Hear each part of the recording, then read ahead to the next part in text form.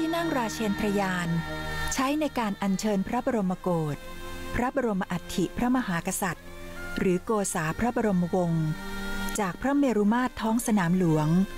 เข้าสู่พระบรมมหาราชวัง ลักษณะรูปทรงที่วิจิตรงดงามของพระที่นั่งราเชนทรยาน เป็นฝีมือช่างหลวง ในรัชสมัยพระบาทสมเด็จพระพุทธยอดฟ้าจุฬาโลกมหาราช สร้างด้วยไม้สักทองแกะสลัก ลงรักปิดทอง และประดับกระจกทั้งองค์ ปกติ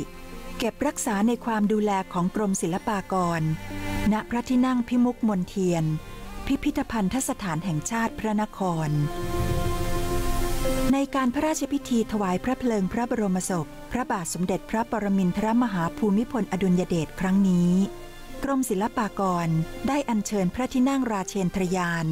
มาบุรณะให้สมพระเกียรติอีกครั้ง โดยทำการลอกสี ลอกรักของเก่าออก แล้วลงรักปิดทองใหม่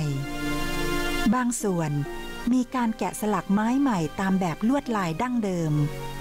นอกจากนี้ยังสร้างพระที่นั่งราเชนทรยานน้อยขึ้นใหม่อีกองค์หนึ่ง โดยยึดตามรูปแบบของพระที่นั่งราเชนทรยานองค์เดิม แต่ให้มีขนาดย่อมกว่าเล็กน้อย ถือเป็นงานบูชาครู เพื่อรักษาและสืบทอดงานศิลปกรรมไทยดั้งเดิมของยุคต้นรัตนโกสินทร์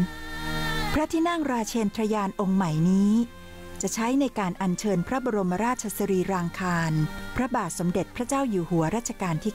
9 จากพระเมรุมาตรท้องสนามหลวง ไปยังพระบรมมหาราชวัง การดำเนินงานทั้งหมดนี้ อาศัยฝีมือช่างที่มีจิตอาสา จากทุกสารทิศทั่วประเทศ ด้วยหัวใจที่สำนึกในพระมหากรุณาธิคุณ เป็นกำลังสำคัญในการขับเคลื่อนงานที่ยิ่งใหญ่ ให้สำเร็จลุล่วงด้วยดี ความงดงามอันทรงคุณค่า และวิจิตรการสมพระเกียรติ จะเป็นการสืบสารงานวิจิตรศิลป์ไทย ให้คงอยู่ด้วยความรัก และอาลัยตลอดไป